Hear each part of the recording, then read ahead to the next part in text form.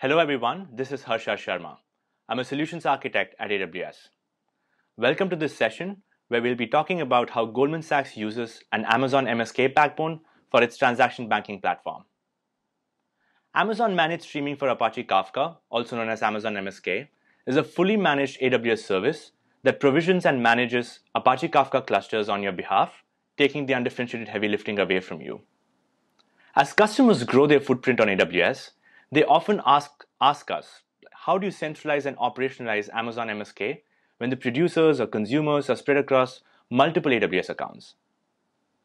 Over the course of the next 30 minutes, we will see how Goldman Sachs' newly launched transaction banking business implements their Amazon MSK infrastructure at scale, keeping security and operational excellence in focus.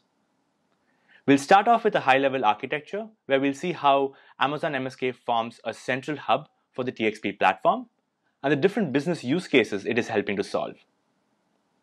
We'll then look at security, where we'll see how key security requirements led the transaction banking team to make some interesting design choices in the form of their micro account architecture.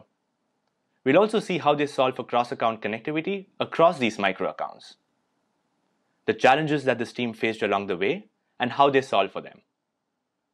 We'll then look at developer experience, where we'll see how having a security first approach doesn't necessarily mean that we compromise on developer productivity.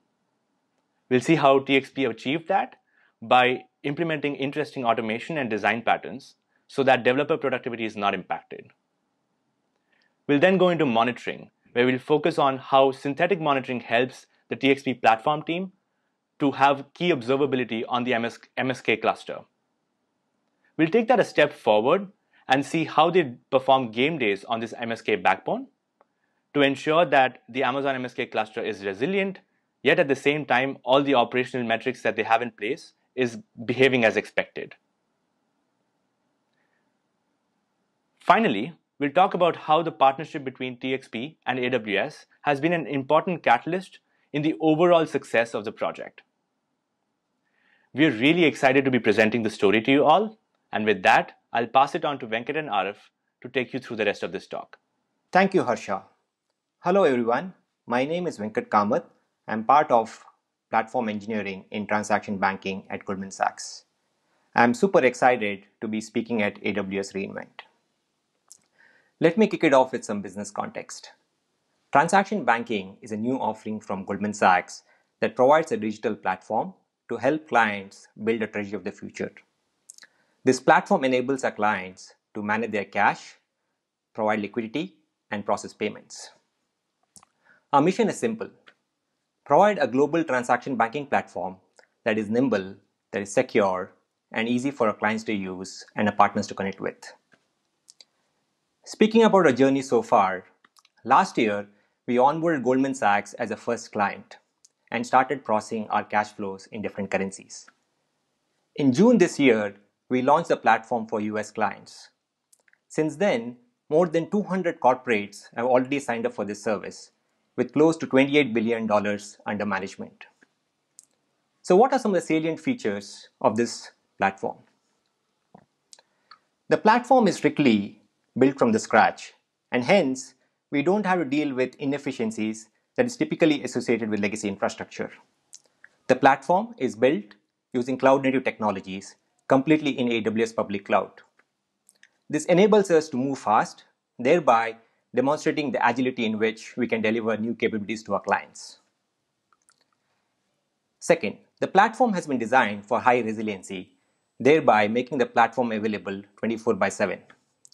We make sure that we deploy all our components using active-active deployment topology in multiple IoT zones, thereby no single point of failure. Third, in transaction banking, we are very passionate about providing first-class APIs to our clients. We have designed our APIs just like our client-facing web apps, keeping in mind the client journey as starting point. We recently launched our transaction banking as a service product, which really enables our clients to embed our services such as payments and accounts into their own products and offer it to their clients, which we believe is a true value proposition. Across all these three differentiated features, we strongly believe that our modern digital first platform in the cloud really provides a superior quality of service to our clients. Let's now dive into the technical aspects of architecture and understand some of the communication patterns involving Kafka. Payment processing is one of the foundational components of our platform. The lifecycle of payment can be quite complex. It has various states ranging from checking if the payment is valid, checking if the account has adequate funding, checking if the account owner or the beneficiary has any accounts or sanctions blocks on them, and figuring out which payment rail to use to clear this payment. To orchestrate the lifecycle a payment, we have embraced a microservices architecture. We wanted to make sure that all these services talk to each other using async fashion and really decouple each other. Hence, we made a choice to use Apache Kafka as a messaging backbone. The next question that arises is, how do you run and manage this Kafka infrastructure? Now, those of you who have done this before understand that it's quite painful and it's not trivial. So as we were looking at a number of vendor products, we came across Amazon's managed streaming for Apache Kafka, which really met most of our non-functional requirements that we cared for. Hence, we made a choice to use MSK as a strategic backbone. To illustrate with a use case, as you see in the diagram, we have payment service which publishes a message such as credit check event to the bus. Then we have a validation and screening service which consumes that message, processes them, and sends the ACK back. All these events are well-defined contracts using Avro schemas.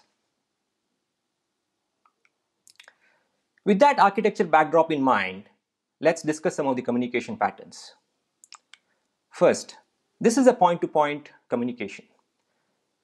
For instance, payment service would basically publish an account check event onto the MSK bus, which is then consumed by the ledger service, and then it responds back with another event. From a security standpoint, it's very important that only payment service can publish this event to a topic, and only ledger service can consume the same event. From a resiliency perspective, there is no scope for message loss, hence transaction integrity comes into play. The second pattern is where, where you have multiple producers and one consumer. Data platform in this case is an authoritative data store that consumes events from various upstream microservices and provides us a unified view to our clients. As you can imagine, the throughput and the freshness of when the data will be available in data platform is a key architecture consideration. Third, this is about the pub sub model. So we have master data management, which is responsible for managing the lifecycle of number of reference data entities. As we create new entities or make any updates, we want a reliable way of communicating and distributing this data to various subscribers. We use the near real-time nature of Kafka to do this, achieve this goal. Across all these three patterns, we rely on high, the high security, the availability, and the resiliency of a critical MSK cluster in our platform. To talk about the next few sections, let me hand it over to my colleague Araf. Thank you, Venkat. My name is Araf, and I'm part of the platform engineering team at Goldman Sachs Transaction Banking. At Transaction Banking, we take security very seriously, and we design our systems with zero trust in mind. As Venkat mentioned in the previous section, Kafka plays an integral role in our, Kafka, in, in, our, in our stack. So it's critical that we design our infrastructure and our operational processes with the highest security standards. Let's look at some of the ways in which we enforce security in our Kafka infrastructure at transaction banking. In traditional cloud architecture, services and workloads reside in a single monolithic AWS account.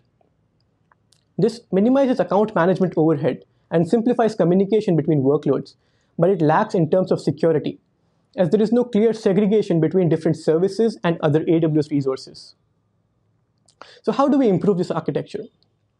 Well, we group different services and their workloads based on their functional roles into individual AWS accounts. We call these micro accounts. This way, workloads are isolated by strong account boundaries, which dramatically improves security posture and reduces blast radius. Now, when these, when services and workloads need to communicate across each other, uh, across accounts with each other, they can do so with MSK for resilient asynchronous communication. Just like any other service, MSK sits in a micro account and glues our application accounts together. Now for MSK to be accessible across accounts, a common option is to use VPC peering. But VPC peering does not work well for us as it requires non-overlapping CIDR blocks across the peering VPCs, which quickly becomes an operational challenge when you have hundreds of micro accounts. VPC peering also does not fully satisfy our security requirements as it fades the strong boundaries set up with our micro account architecture. Instead, we like to use private link because it gives us great security by giving us granular control over what accounts and services are allowed to connect to MSK. But the challenge is that at this point, MSK does not have first-class support for private link. So to overcome this, we collaborated with AWS solution architects and the MSK product team to come up with a custom private link setup to support cross-account connectivity with MSK. Let's see how it works. So here we have a Kafka client on the left and an MSK cluster on the right, each in their individual uh, micro accounts. Now let's start filling in the infrastructure components that we need to establish a secure connection path from the client to each of these brokers. First, we'll front each of these brokers with a TCP network load balancer. This load balancers receive traffic um, uh, on, on the broker's TLS port and forward it again on the broker TLS port. Now we'll establish a cross-account network path between these two accounts by enabling private link on the NLBs and creating the corresponding VPC endpoints on the client side. Now at this point, the Kafka client has a network path to each of these brokers. But if you're familiar with the Kafka protocol, you'll realize that this is not sufficient for the client-broker communication to work. You see, when the Kafka client wants to read or write to a given topic uh, and its partition, it first makes a metadata request to the Kafka Bootstrap servers. In turn, the Bootstrap servers tell the Kafka client what, what broker is the leader for that particular partition and its DNS name. Now, these return DNS names, of course, differ from the DNS names of the VPC endpoints that we want a client to connect to instead. So how do we solve this? Well, the key ingredient of this setup is to create a, uh, a Route 53 private hosted zone with the domain name kafka.region.amazonaws.com. What this allows us to do is to create CNAME records in this zone that mask the broker's real DNS name and instead resolve them to the DNS names of the VPC endpoints. This way, when the client tries to connect, uh, when the client tries to resolve the received uh, bootstrap uh, received DNS names from the bootstrap servers, it is tricked into connecting to the brokers via our VPC endpoints. Now, this solution has been working well for us, um, uh, but we had to solve a couple of additional challenges. First is how, how do we um, manage the overhead of, uh, of several VPC endpoints for each of these brokers across hundreds of micro accounts? Well, to ease the process, we built clever abstractions using Terraform modules that make creating and managing these VPC endpoints as simple as toggling a flag in the code. Our colleagues covered this in detail in another reInvent session this year titled How Goldman Sachs Manages Network and Access Control. In short, when we create the VPC endpoint services while enabling private link, we bundle up the metadata including the service name, the allow listed account IDs, and push it all to a centralized S3 bucket in another AWS account. Now on the client side, another Terraform module then reads this metadata and creates all the VPC endpoints that the, that the client may need. The second challenge with this solution is that adding additional brokers to scale the cluster horizontally requires infrastructure changes across all client accounts. Now this is a rare event, but when it happens, the process can be simplified by sticking to managing infrastructure as code uh, using Terraform, CloudFormation, and the likes. And finally, to enable private link, we had to put a network load balancer in the path. Now the thing to note here is that the NLB has a fixed idle timeout of 350 seconds. Kafka clients maintain idle TCP connections with the brokers for 9 minutes by default, which is of course less than the timeout on the NLBs. This means that low activity Kafka clients may not realize that the connection to the broker is dropped until they try to send a network packet on this connection and it fails. We realized that this is an issue when we saw several network exceptions and retry delays on some of our Kafka producers. We also saw a spike in the ELB reset count metric on the NLBs fronting the brokers. To fix this,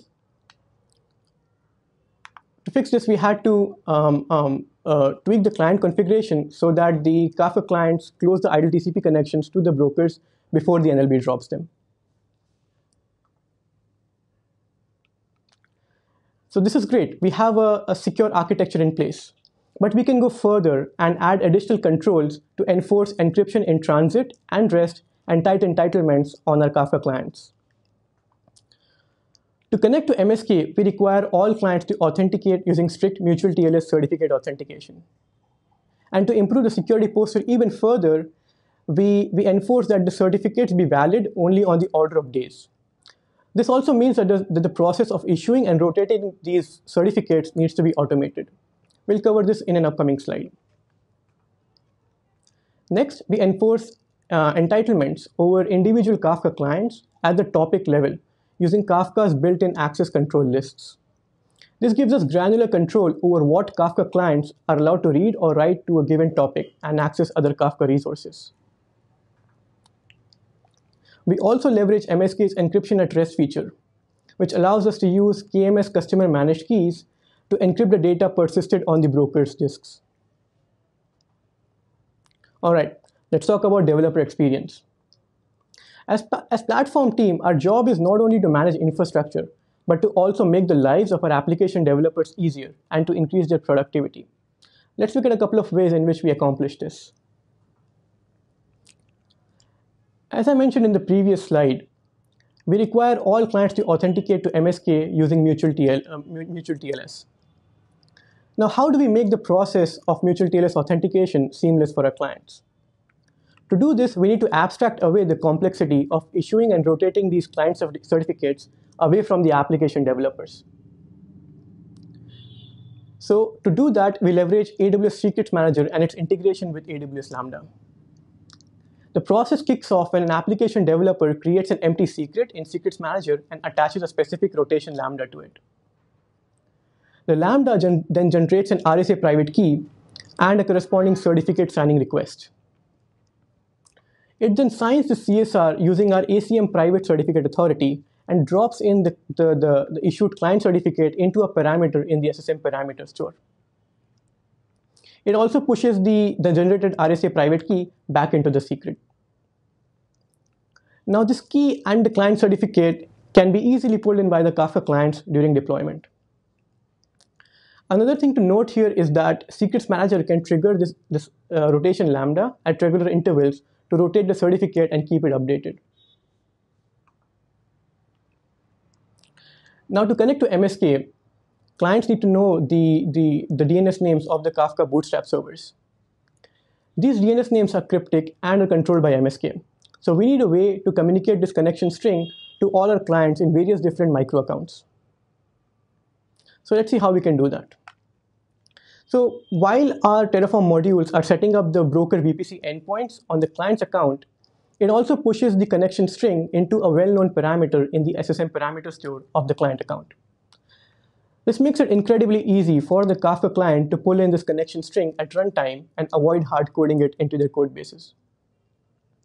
This method also gives us, the platform team, control over what Kafka cluster the clients are connecting to. So in case we need to swap Kafka clusters, we can do so with zero code changes on the client side and with minimal assistance from the application teams. Now, configuring Kafka topics and ACL rules is a heavily used developer workflow. So it makes sense to reduce friction in this process and to simplify it. We wanted to provide a self-service workflow, one that is integrated with our SDLC controls and is in line with our infrastructure as code philosophy. To understand this process, let's look at a day in life scenario of an application developer who wants to create a new topic for their service. To kick things off, the application developer pushes the topic configuration to a dedicated Git repository. This topic configuration includes the topic name, partition count, and the desired ACL rules for the producers and consumers. Next, the platform team reviews this, uh, this topic configuration to ensure that it adheres to our security and resiliency standards. Once approved, this configuration enters the master file and is ready to be provisioned on our Kafka clusters. The developer can then independently trigger an SDLC job at their convenience that will pull in the topic configuration from the master file for all the topics that their services need and provision that on the Kafka cluster. It's worth noting that this, this workflow decentralizes the topic configuration process while still maintaining a single place of audit for all the topic definitions in our infrastructure. This method also removes the dependency from the platform team during application deployments. Now, back to Venkat to talk about monitoring and resiliency in our Kafka infrastructure. Before we get into the monitoring and resiliency aspects, let's try to understand some of the business drivers. In the payment processing world, we are subjected to hard currency cutoffs. In other words, if we need to process payments, we need to send these payments to external clearing houses within the stipulated time windows. As we process payments that are closer to this critical window, the availability and the resiliency of our infrastructure becomes even more critical. That's where observability comes into play. Our philosophy with observability has been if you're not able to measure your systems, then don't build it. So it's very important for us to be able to instrument our apps and gather the metrics related to application and infrastructure. The first step towards solving that problem is to have a robust monitoring in place, and we call it as synthetic monitoring. Let me show you how it works. We have designed an heartbeat app which will publish and consume messages at frequent interval. As you can see in the diagram, we have a producer app which is deployed across multiple LD zones that produces some test messages at frequent intervals to our shared Kafka broker. On the right hand side, you see that we have a consumer apps which are deployed in its own micro account, which consumes a message and acknowledges them back. You'll also notice that there is a JMX agent that has been deployed along with each producer and consumer app. This JMX agent is part of our Datadog agent. It's deployed as a sidecar and which allows us to actually gather all the Kafka metrics from the Kafka clients and then publish it to our Datadog service, which can then be used for renting purposes. Quickly wanted to give you a glimpse of how we have designed our Kafka dashboards in Datadog. It's very simple and easy to configure. We have basically segregated the metrics into three different swim lanes, the producer, the consumer, and the broker. On the producer metrics, we have basically captured some of the key metrics around record send rate, what is the retry rate, the error rate, and number of connections the client used to connect with the broker. Similarly, on the broker side, we captured some key metrics around CPU usage, our memory usage, and under-replicated partition count. At the top, at the top, you see that there's a search criteria, which allows you to search for metrics based on either by Kafka topic or by consumer group. What is really impactful is to be able to see all these metrics in one particular view. For instance, if we see that there's an issue with respect to Kafka publishing, we would like to correlate the record error rate with that of the broker metrics and see if there is any correlation between these two events. We've solved the problem of gathering the metrics and rendering it the dashboard. What is equally important is converting these metrics into insights. Let me illustrate with an example. If you see the graph that is highlighted on your left, we see that we have configured certain rules and thresholds for records error rate. Whenever these data points breach the thresholds, we generate an alert so that our application development teams can investigate into the issue. Similarly, on the broker side, we've configured some thresholds on under-replicated partition count. Whenever there is an anomaly in these data points, it will generate an alert which our SRE team will look into and investigate what the issue is about. My favorite topic. While all our engineers are focused on building new capabilities for clients, we do take the time to perform some interesting experiments in a lower environment. Welcome to the world of resiliency game days. The idea here is to embrace a culture of simulating failure events and see how our applications gracefully handle these events. Every week, we block some time to plan and execute these resiliency testing scenarios. Let me give you an example of one of our playbooks. As you can see in the diagram, we have a test harness which generates a stream of payment messages and pumps into our platform. As our microservices platform, try to process that message using MSK cluster, we kick off an SSM doc, which will basically reboot all our brokers in a sequential fashion. We then wait for our payment processing to complete and then reconcile the status of the payments. There are two outcomes from this exercise. One, we get to understand the resiliency gaps from an architecture and implementation perspective. Second, we also get to assess the operational readiness and how well equipped we are to be able to respond to these events when they happen. It's worth noting that historically, we used to call AWS support to restart our Kafka brokers. Thanks to the MSK product team, we now have a self-service capability to reboot our brokers. We have encapsulated that AWS CLI command using an SSM doc, which provides us with some operational and audit controls. To summarize, we discussed the key three key tenets of our Apache Kafka implementation using MSK. As Araf mentioned, we take security very seriously in transaction banking. So we have set a very high bar for our security controls involving MSK.